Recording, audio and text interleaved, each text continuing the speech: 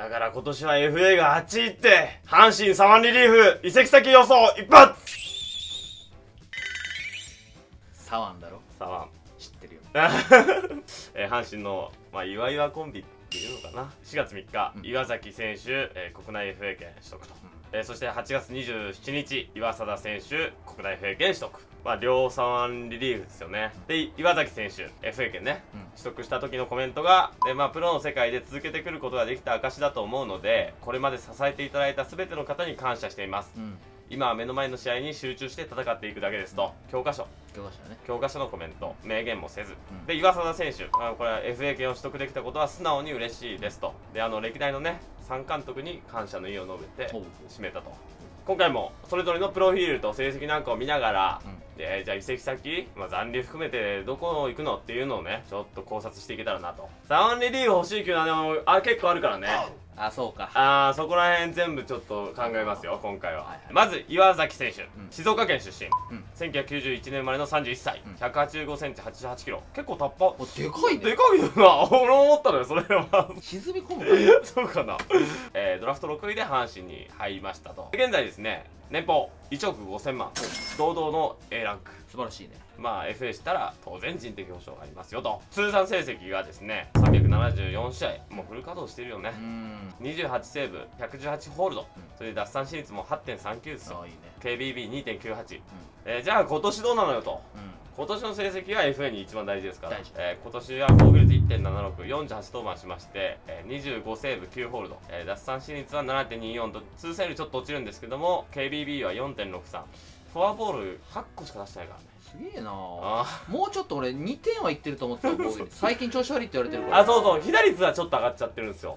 あすげえよそれ。でも点は取られてないんね。すげえよ。ああそう。あやっぱり1億5000万もらうだけの選手ですよね。なのでまあ FA しますって言ったら問題なくこれは来るでしょう。ね1億5000万以上出す球団あるんじゃないか。ある。ね。岩貞選手ですね、えー熊本県出身。1991年生まれの30歳。1 8 3センチ8 6キロ。横浜商科大からドラフト1位で阪神に入団してると。ただですね、えー現在年俸が4500万円。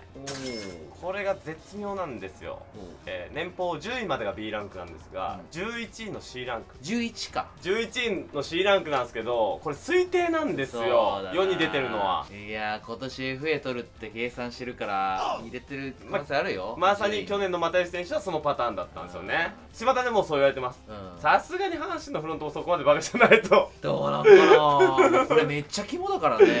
うんさすがにそこら辺は調整してるでしょうと。もう全然手を挙げる球団数変わってくるからね、ううん B と C じゃで今年自己最速の154キロ出しました。なんかそうだなパワーピッチャーになってんだよな。そうなんですよ。だからリリーフ向きだったのかなとこれ見る限りね。で通算見るとやっぱり先発の方が多いんで、うん。まあ、先発的な数字になってるんですけど防御率3.62 39勝41敗27ホールドと、うん。奪三振率はでもそれでも8.13あいいね。で KBB も2.60と。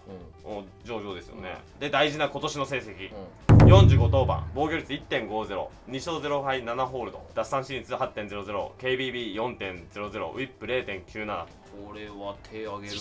これはね4500万。だったらね。で C ランクだったらなおさらだな。おさら。これだから C なのか B なのか僕はすごい重要だと思いますね、うん。成績を踏まえて、うん。じゃあサワンリリーフ欲してるのはどこの球団なのよほという話になっていくわけですけど、うん。まずね前提として阪神から FA で出てった選手って何人いんのっていうことですよ。確かにな。国内国外合わせて10人だけです。おあ少ないな。でそのうち3人メジャーなんで、まあ、メジャーはしょうがないですよ。まあね。メジャー志向のね。なので国内に絞ってみると、うん生え抜きで国内 FA 移籍したのはうん。3人だけです、やっぱり人気球団ここにあると。待遇がいいんだね。待遇がいいんですよ。出なくていいんだよ。うまあそれを踏まえた上での話になるんですけどそれでもサワンリリーフっていうね大きな付加価値ありますから欲しい球団ありますよ。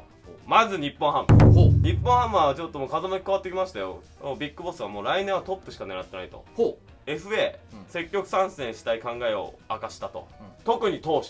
ううんあで西君出んの？え？岩崎君も？あこれ全員行きますよ。って まあ言ってるわけ。ビッグボスが名前覚えてるってなんかよっぽどじゃん。ねそうだよね。資金が足りなかったら俺が出すしかないねみたいなことも言ってると かな。で確かにまあ日本ハムの今年の救援防御率は3.57でパ・リーグはそうですよ。うん、まあ当然欲しい。で左腕だったらなおさらだよね。まあ日本ハムも候補の一つかな、うん。でまあ左腕が足りない足りないって言われてる球団はまあ巨人。ですいや我が巨人軍、救援防御率3.99まあまああのカープも笑えないんで そうですね。カープも僕は救援防御率悪いから、ごめん今回入ってないんだよ、はい。候補にね、うん FA 取んないでだろうから入れてないんだけど、えーえーまあサワニリーフ今年主にフル稼働できてるのは、うん。高菜ちゃんだけよ。あ宝ちゃんいいね。うん頑張ってるね。ね持ってる。で中川選手大江選手どこ行ったと？どこ吹く風なんですよ。香川選手はな。去年のね。ほんまに。まあ今育成にね掲げてますから、FA は去年も手出してないですよ。ただちょっと前までの巨人だったら当然こんな沢が出てきたら行くよね。当然手挙げる。うんただ過去阪神からの FA がないっていうね。さすがにないのか。江川小林は あれがグレーグレーグレー FA みたいなもんですね。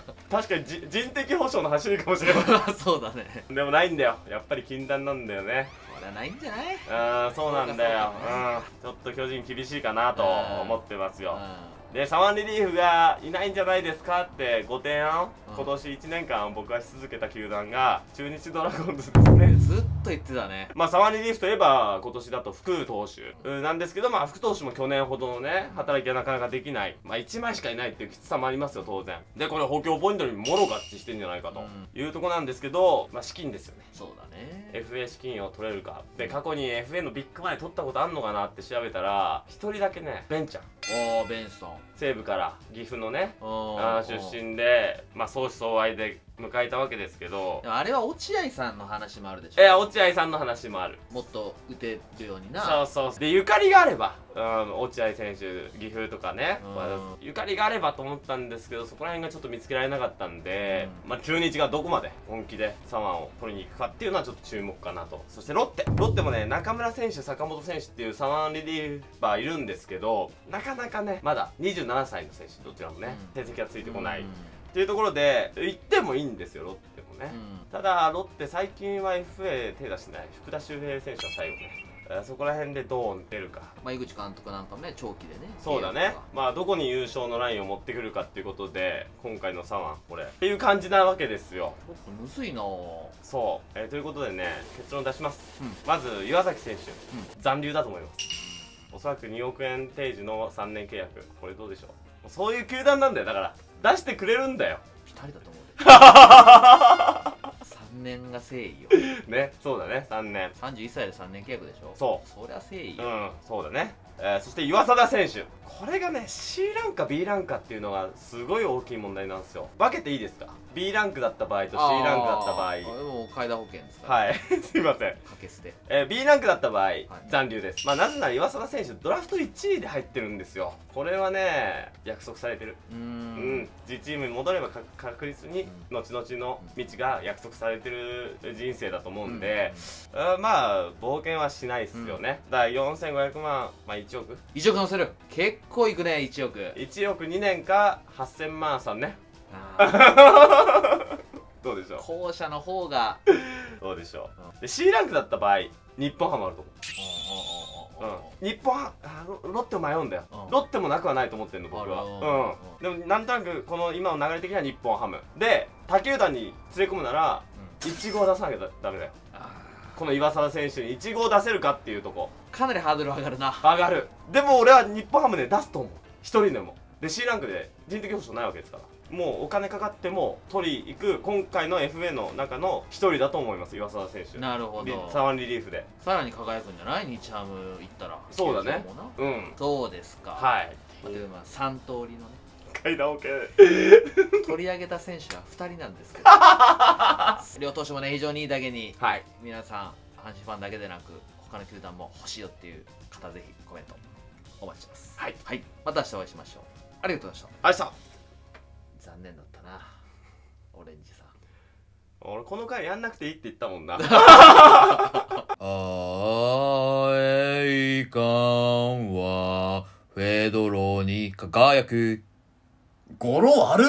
チャンネル登録お願いします。